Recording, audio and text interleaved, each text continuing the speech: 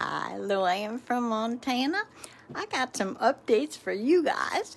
We're using the goats to fertilize the land and build the soil, and we don't got to use the pesticides. Also, I'm in the orchards and all. Also, I'm making a cake in the pot on the stove. My dog just ehawed. He wants a toy. This cake is a pan-fried steak. Uh, cake. cake steak.